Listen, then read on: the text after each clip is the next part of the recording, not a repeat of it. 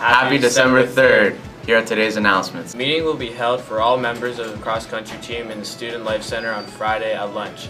Come see Mr. Bunga if you have any questions. Don't forget to chat with your teammates and coach to come up with a strategy, win the team food drive team challenge. Bonus items for today are sauces, and for Friday, it is soups, canned or powdered. The next food pickup will be on Friday during homeroom. Class results will be announced tomorrow, so make sure your point scores get reported to the Student Life Center today. Hey, what's one thing you want to thank Mr. Cariotti for with his time here? I'd like to thank him for uh, putting so much like care into the football program, and I feel like it really helped me improve throughout these three years that I've been here. How about you?